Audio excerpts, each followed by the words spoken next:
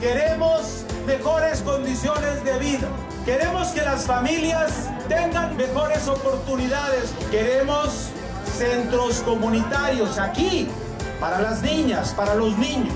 El Sonora, el Hermosillo y el México que todos queremos construir, no lo podemos construir solamente nosotros, lo tenemos que construir entre todos.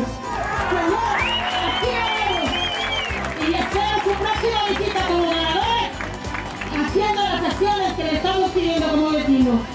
¡Que viva Sonora!